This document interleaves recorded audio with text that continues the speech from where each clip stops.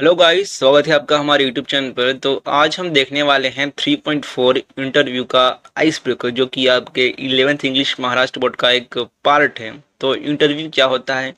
Interview यानी कि हिंदी में कहें तो साक्षात्कार, मराठी में कहें तो मुलाकात। यानी कि हम किसी बड़े व्यक्ति को, किसी एक पर्सनैलिटी को सक्सेसफुल पर्सन को बुलाते हैं और उनसे कुछ सवाल करते हैं। और ये एक टाइप से कम्युनिकेशन का टाइप है।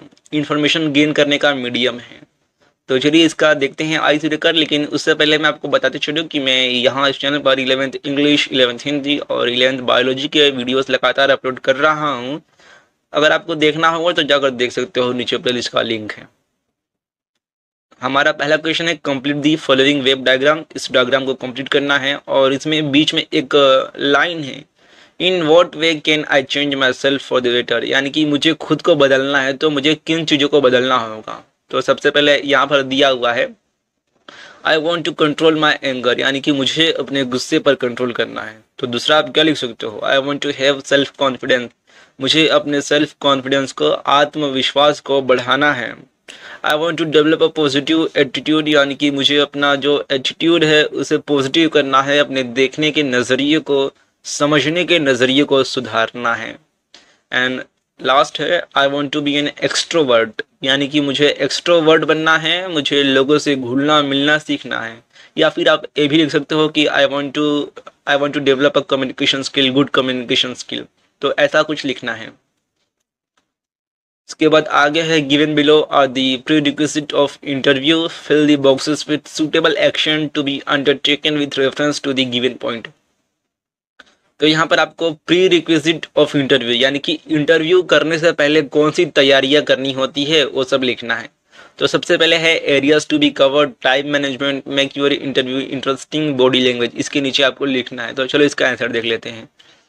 तो एरियाज़ टू बी कवर्ड यानी कि हमें जो भी टॉपिक है, जिस भी पर्सन का इंटरव्यू होने वाला है, वो कौन से फ़ील्ड से है, वो सब पता होना चाहिए कि वो कौन से फ़ील्ड से है, उसका हिस्ट्री वगैरह क्या है, सब कुछ पता होना चाहिए।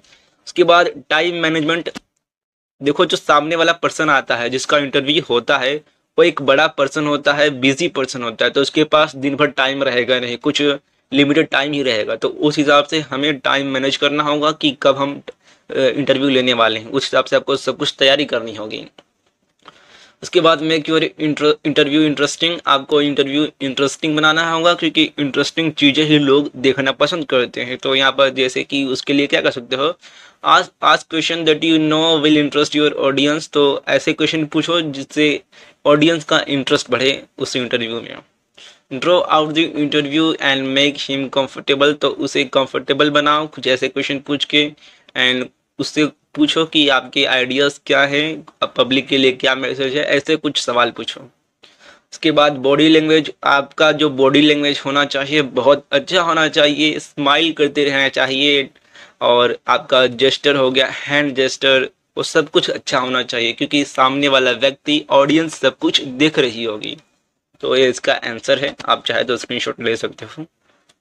यही था आज का वीडियो। इसका पीडीएफ आपको हमारे टेलीग्राम चैनल पर मिल जाएगा, जिसका लिंक डिस्क्रिप्शन में है।